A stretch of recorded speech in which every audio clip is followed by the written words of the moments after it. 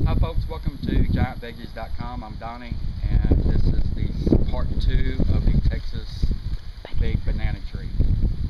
Uh, today is the 10th of July. Last Sunday, we're videotaping every Sunday by the way.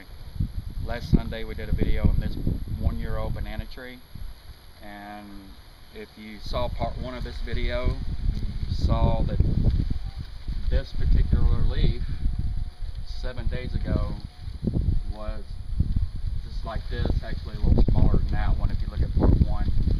Uh, seven days, this uh, leaf is about three and a half feet long and um, there's also a, a new one forming in the middle. Uh, again, part two, just uh, to show the ongoing stages of this one-year-old banana tree with us feeding it with the Monster Garden sauce. And uh, hope you stay tuned to part three. Thank you.